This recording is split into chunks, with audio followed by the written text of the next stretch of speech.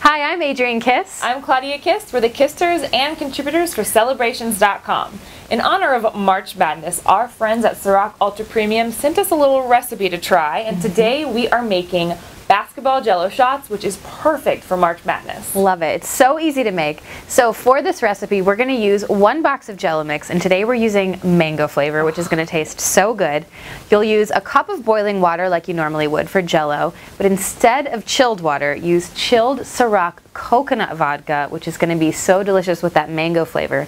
And then to put your jello shots in, we've got some hollowed out clementine. So you just slice those in half, hollow them out, which is so cute. It's gonna look like little basketballs. So what I have here is our cup of boiling water mixed in with the mango jello. And then here comes the fun part. The best part. One full cup, I know, of Ciroc coconut. That smells so amazing. So we're gonna mix that in.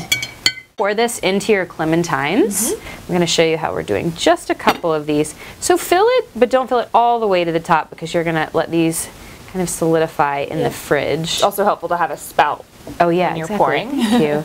Yeah, so that's a couple of them. We're gonna let them all chill in the fridge like you normally would with Jello, mm-hmm. and they're gonna be so delicious. And at the end, if you really want to go to the distance, you can decorate your lovely little basketballs with just black icing, make little lines, and you're good to go. so cute. So this recipe and many more can be found on celebrations.com. We want to say thank you again to our friends at Ciroc Ultra Premium, and we'll see you guys next time. Bye. Bye. All right, let's Here do we this. go. March Madness.